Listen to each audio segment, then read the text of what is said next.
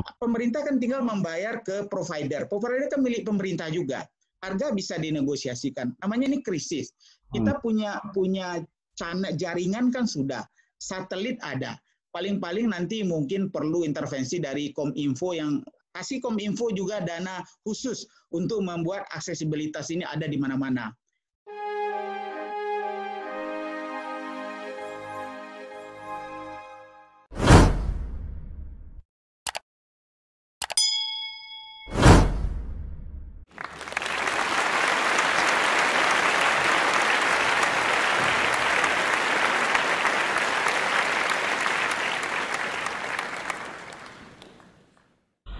Jadi kalau kita lihat eh, sebetulnya dalam konteks normal, dalam konteks normal memang kita harus mencari cara bagaimana agar semua potensi dari seluruh bangsa ini yang melahirkan contoh-contoh terbaik dalam memberdayakan guru, memberdayakan sekolah, merangsang inovasi anak-anak siswa dan mahasiswa itu harus dirangkul oleh pemerintah. Karena pemerintah tidak mungkin mengerjakan semua dan kalau pemerintah biasanya koridor-koridornya itu adalah koridor birokrasi. Sementara banyak LSM, ormas, eh, orang-orang yang bergerak tanpa pamrih dengan cara mereka melahirkan inovasi-inovasi yang sangat banyak yang akhirnya tidak masuk ke dalam sistem karena tidak pernah didiskusikan dan tidak pernah menjadi bagian dari kebijakan. Saya juga lama bekerja di Bapenas, eh, Pak Nur, dan saya melihat juga salah satu kelemahan kita kita kayak sama dengan luar negeri banyak sekali dengan sebutlah dengan berbagai lembaga-lembaga internasional Bank Dunia, ADB, UNICEF, Jepang segala macam. Pada waktu program kerjasama itu dilakukan, itu jalan. Tapi begitu selesai, tidak bertahan lama segala best practice tadi. Karena memang transformasi dari sebuah kegiatan di luar birokrasi walaupun tadi kerjasama luar negeri ini sudah sebagian cukup besar bersama birokrasi, tapi karena dia menjadi proyek spesial, tidak included di dalam regularitas dari birokrasi, maka dia kadang-kadang masih dilihat sebagai bahan asing, program asing, dan jaminan bahwa dia akan sustain itu tidak terjadi. Nah, hmm. karena itu, ini waktu kerjasama dengan uh, uh, DIFAT yang dulu Auset namanya DIFAT. Saya menjadi advisor di sana uh, selama empat tahun. Kita bersama dengan Dikbud membantu empat provinsi yaitu Kaltara, NTT, NTB, dan Jawa Timur dan kemudian bekerja sama dengan 17 bupati di termasuk yang daerah-daerah yang ter, terdepan seperti misalnya empat kabupaten di Pulau Sumba itu kita mencoba mengajak pertama bagaimana sejak awal program ini milik daerah. Yang kedua, kita langsung menanyakan daerah ada enggak peluang-peluang mitra yang ada yang mereka kenal. Baik mereka kenal di kabupatennya, baik mereka kenal di provinsi NTT atau NTB atau Kaltara atau Jawa Timur, ataupun yang mereka kenal di tingkat nasional yang menurut mereka bisa diajak bekerja sama. Nah, kalau kebutuhan itu dilihat oleh daerah dan kemudian kita review lembaga-lembaga itu punya potensi, maka kita hubungkan antara Pemda itu dengan organisasi itu. Ada yang bergerak di bidang literasi, numerasi, ada yang bergerak di bidang anak-anak special need, dan macam-macam. Ada yang di tingkat kecamatan, ada yang tingkat provinsi, ada yang sampai tingkat nasional yang merambah kepada provinsi. Tapi bagi kita di mana pun level dia berbuat, asal menurut daerah mereka itu cocok membantu daerah dan ada chemistry-nya, Nah, itu waktu itu di, diadakan bidding, dibuka seluas mungkin, dan kemudian terpilihlah sejumlah organisasi, baik perguruan tinggi, baik ormas, baik LSM yang yang yang memang sudah punya dedikasi khusus, termasuk beberapa think tank ya. Dan kami e, bekerja khusus dengan Muhammadiyah dan NU karena mereka tentu nggak sama dengan yang lain-lain. Mereka dua dua rasa-rasa. Jadi kita duduk sendiri dengan NU, dengan Pak Arifin Junedi. Sebetulnya gimana Pak Arifin melihat? Bagi NU sebetulnya yang kita lakukan di empat provinsi itu kecil sekali sebetulnya tapi waktu kita diskusikan best practice yang ada di NU, mana tahu bisa ditiru oleh daerah. Hmm. Bisa ditiru oleh sekolah lain, akhirnya diambil jadi kebijakan oleh daerah dan disebarluaskan dengan APBD daerah. Nah, akhirnya eh, Pak Arifin dengan Mak Arif waktu itu eh, terlibat dan sangat apa sangat antusias melakukan itu dan dan kita belajar banyak. Ternyata best practice itu banyak sekali di NU. Demikian juga dengan Pak Mukti, sekjennya uh, Muhammadiyah waktu kita diskusi dengan beliau, beliau melihat sekolah Muhammadiyah banyak sekali nih Pak Wali. Kami sudah banyak juga melahirkan best practice. Kita tidak perlu menunggu dari luar negeri, kita tidak perlu uh, ke Finlandia, ke Australia. Banyak di dalam Indonesia sendiri positive deviance atau best practice itu ada.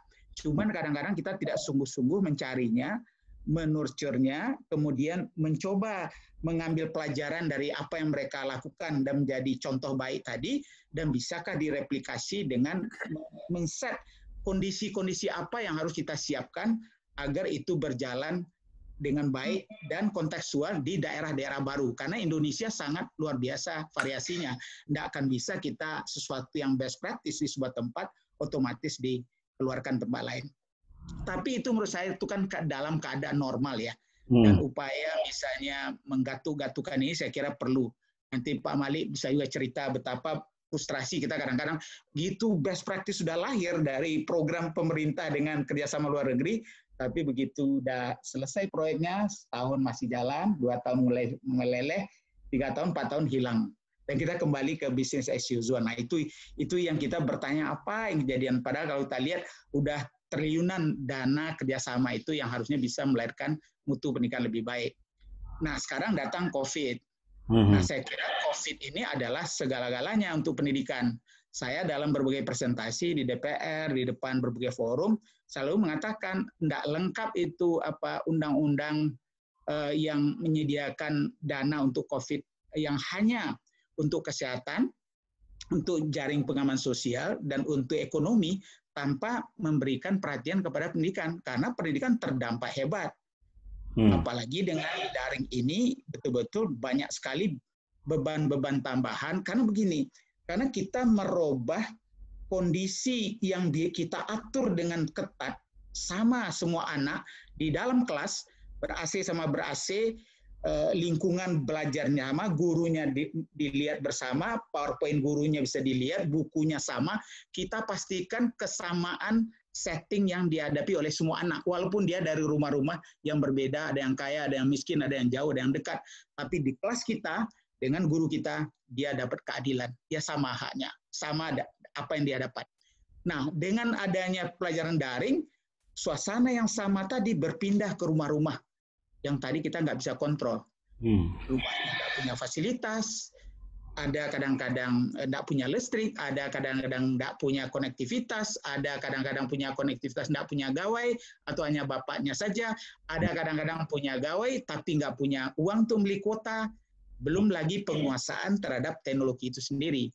Jadi saya kira dampak terhadap mutu ini dahsyat sekali COVID ini kalau kita tidak hati-hati dan dan memang akan memperbesar ketimpangan. Jadi ketimpangan itu yang sudah ada sebelum ini, tapi karena kita berupaya di sekolah itu di, di, dikurangi, dijaga benar agar tidak ada ketimpangan, walaupun di rumah dan di lingkungannya dia berbeda, tapi di setting-setting pendidikan keadilan itu dijaga. Nah ini yang dirampas oleh COVID dan nanti yang kaya memang akan menjadi lebih canggih, aksesnya kuat, uangnya ada untuk beli kuota, gawainya canggih, dan dia punya sumber-sumber lain yang lebih kaya.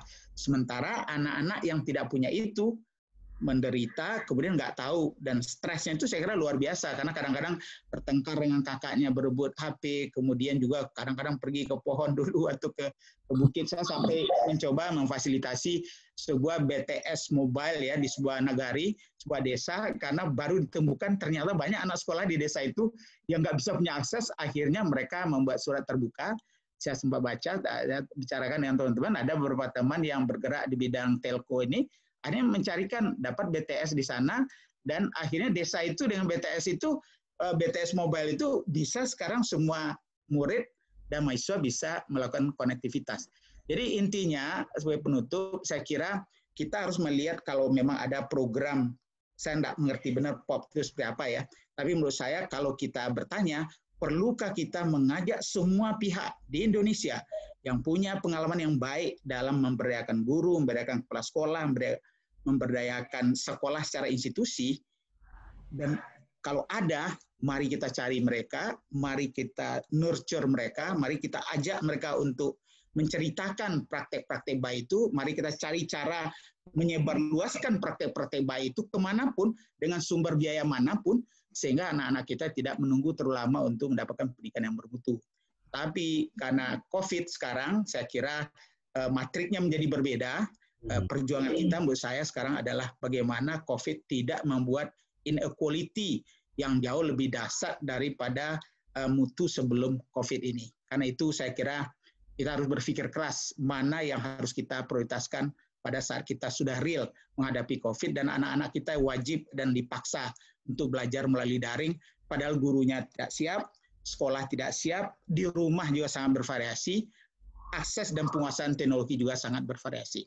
Itu aja uh, Pak Nur Hidayat, terima kasih.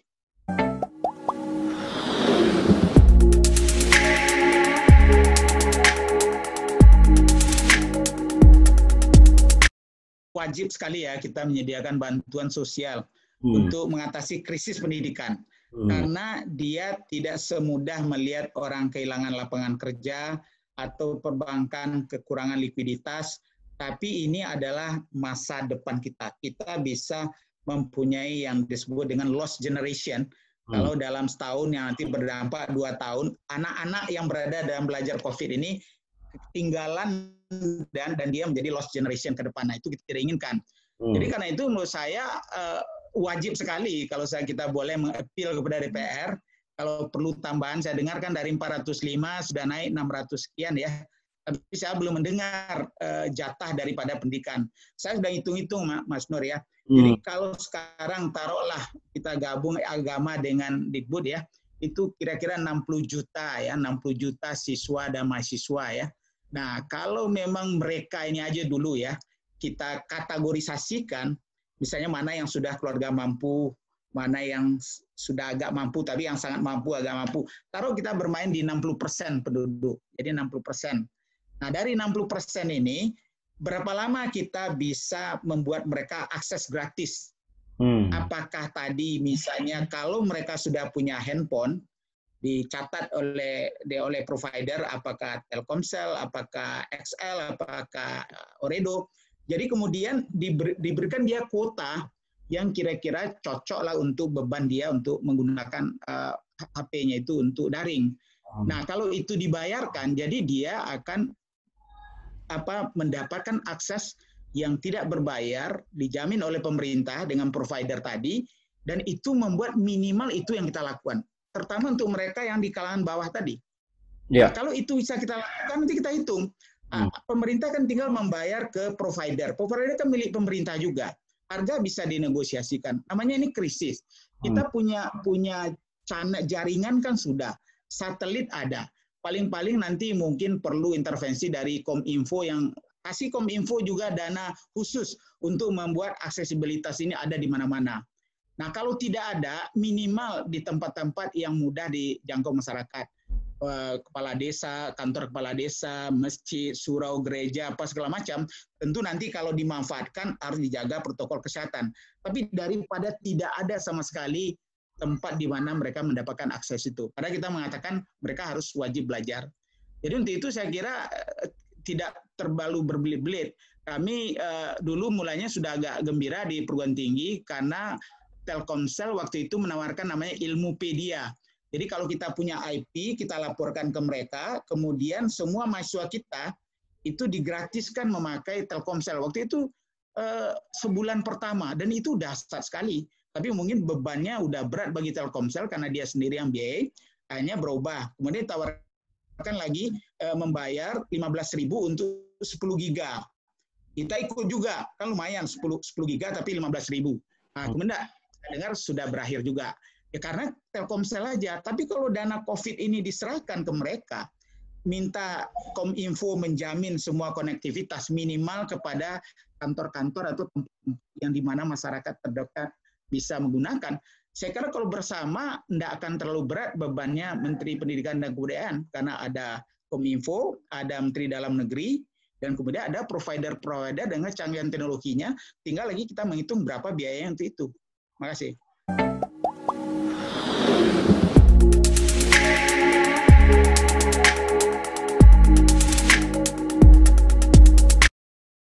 Uh, ini pertanyaan bagus sekali nih Pak hmm. Nur Hidayat ya. Pertama memang karena Indonesia ini bervariasi, kita harus sadar bahwa tidak semuanya harus didaringkan. Hmm. Ada program pendidikan jarak jauh tapi luar jaringan, artinya terpaksa kita mengantar sendiri. Mengantar bukunya wali wali kelas atau guru mengantar ke rumah-rumah. Hmm. Kemudian pekerjaan kadang-kadang diantar oleh orang tua, bahan-bahan dibagikan secara tradisional tapi apa boleh buat daripada anak tidak belajar sama sekali. Hmm. Nah itu saja sudah perlu kita pikirkan berapa berapa puluh ribu mungkin ratusan ribu anak-anak di berbagai setting seperti itu dan ini harus dijawab dulu karena dia yang paling terkendala. Nah yang kedua tadi baru dia mungkin punya gawai tapi uh, punya apa uh, aksesibilitas kurang memadai. Nah di sini mungkin Kominfo dengan provider masuk. Kemudian sudah ada akses kemudian mungkin ada yang sangat miskin sehingga gawainya nggak ada. Nah sebetulnya kalau kita mobilisir gawai-gawai yang sudah tidak terpakai itu, kalau ada yang mau sebetulnya kita juga ingin menyumbang itu satu gawai kita gitu ya dari tiga empat gawai. Lama jangan-jangan bisa ratusan ribu. Dan kalau itu kita serahkan ke, atau pinjamkan atau apa pun namanya kepada anak-anak yang memerlukan itu itu dahsyat sekali. Apalagi kalau kita belikan. Dan da orang PKH aja program uh, apa harapan uh, eh, PKH itu uh, keluarga harapan itu katanya dibelikan HP untuk mereka melakukan konektivitas. Padahal tidak ada suasana darurat. Ini di pendidikan nah kalau bisa ini gawe ini berapa banyak kemudian kepada siapa. Dan baru nanti dia sudah punya aksesibilitas, dia punya gawai, tapi dia tidak mampu membeli kuota, kuota data. Hmm. Nah ini saya hitung itu kalau di, saya tanya di adik-adik mahasiswa, eh, mereka biasanya sekitar katanya 300 eh, 300 sampai 500 per bulan. Hmm. Ya tergantung apa mereka nonton Netflix juga ya. Tapi kalau kalau di di murid mungkin saya kira dengan 100 ribu per bulan ya, itu hmm. mungkin udah cukup. Asal tadi jangan pakai Zoom berlama-lama, jangan daringnya nih sinkronus terus. Jadi memang harus canggih benar untuk mendesain uh, apa pembelajaran daring ini sehingga tidak banyak menyedot kuota mereka. Jadi kita harus pandai-pandai. Nah, bagi yang kaya-kaya itu sudahlah ini bagian aja dari apa pengalaman hidup mereka. Nah, cuman yang dua terbawah itu bagaimana? Kemudian baru yang tadi subsidi apa yang bisa kita berikan kepada mereka yang sudah punya aksesibilitas, ada gawai, tapi nggak sanggup membeli kuota. Terima kasih.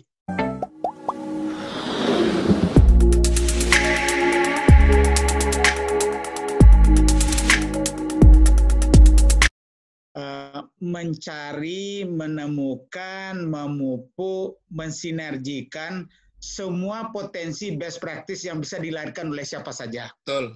Hmm. Guru kah, oleh kepala sekolah kah, oleh organisasi kah, oleh yayasan yang punya pendidikan kah, oleh apa lembaga filantropis apa saja hmm. uh, baik dalam negeri maupun luar negeri karena pendidikan itu perlu diurus oleh banyak orang kalau bisa semua orang tak mungkin diurus oleh pihak-pihak nah sekarang tentu bagaimana kita menciptakan environment agar orang-orang yang punya inovasi ini dengan leluasa menyampaikan, didengar, kemudian diverifikasi, kemudian lihat kontekstualitasnya, kemudian ya. ditawarkan secara terbuka. Ah pemerintah tertarik, apa pemerintah daerah, apa pemerintah provinsi, atau pemerintah pusat, silakan.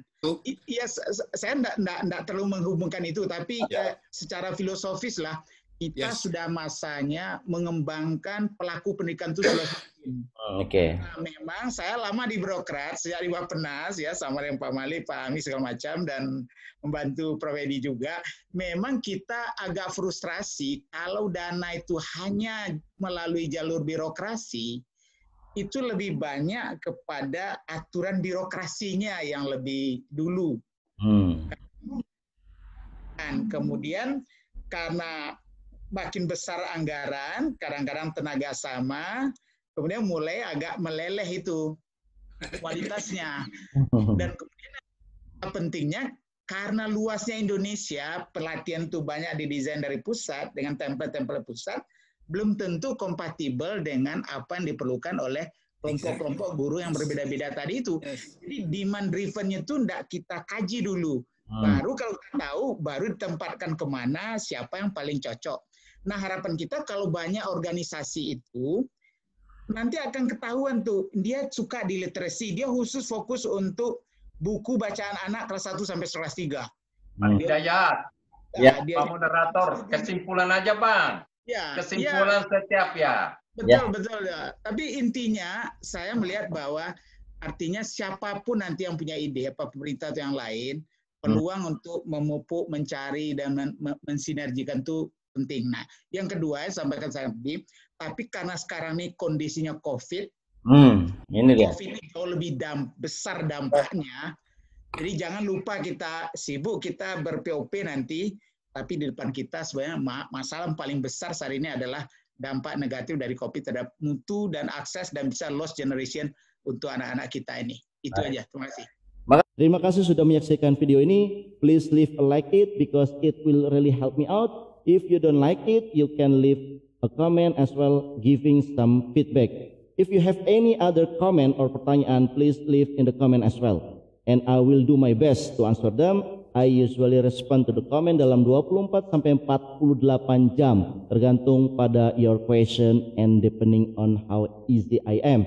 Kami punya banyak lagi konten of narasi channel tentang tema kebijakan publik lainnya dengan narasumber kredibel dan terpercaya. Dan kami juga sajikan update kebijakan publik. So, if you are interested in that type of the stuff, check it out. And, dan jika kamu suka dengan apa yang kamu tonton, jangan lupa subscribe. Kami sangat appreciate. Kamu juga dapat lihat channel lain di sosial media seperti Facebook dan Twitter sebagaimana kamu lihat sekarang di screen. And with that, terima kasih banyak semua. Ini adalah Narasi Institute dan saya Ahmad Nuhridayat. I will back soon. Tetap update dengan konten lainnya. Salam.